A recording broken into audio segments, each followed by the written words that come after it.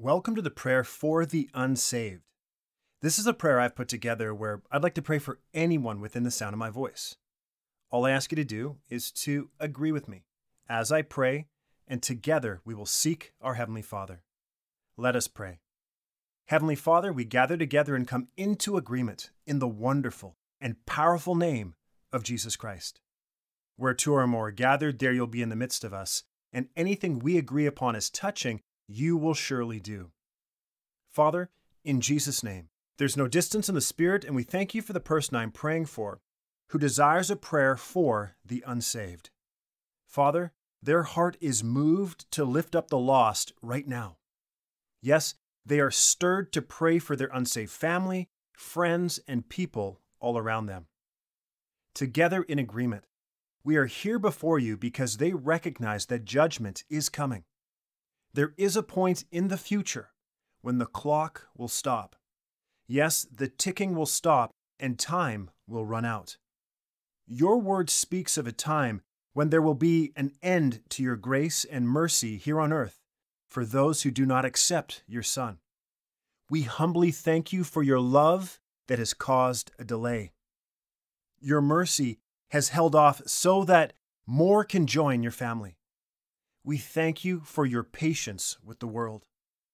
Your kindness has caused you to wait for more people to repent.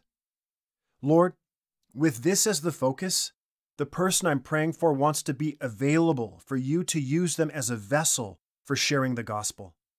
They count it an honor to witness Christ to the unsaved in their life and even those who they don't know. They want to share the message of Jesus to all those you lead them to. In agreement, we ask for divine opportunities to occur where they can share the gospel with the lost. Give them the words to say and the actions to take in Jesus' name. We decree and declare that they are being led by your Spirit to special moments where they can be a witness and, if necessary, use words. We decree and declare that they are sharing the good news with those you love and want in your family. The time is coming quickly when the clock will stop. Yes, there will be an end to this age. And when it does, your word says that there will be a judgment cycle. With their hand raised, the person I'm praying for will do everything they can, by your grace, to share Christ with their family, friends, and people all around them. Praise your name forever. They will do all that they can to bring as many people as possible to Jesus before this age comes to a conclusion. We believe and receive everything we've prayed and give you glory in advance, for this prayer is answered. In the wonderful and precious name of Jesus, we pray. Amen. Thank you for praying with me.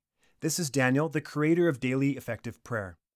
If you were blessed by this prayer, please subscribe to the channel and click the bell. Share this prayer with those you care about. If you'd like me to pray for you personally, simply leave a comment below this video. If you see anyone asking for prayer in the comments, please pray for them and let them know that you did. God bless you.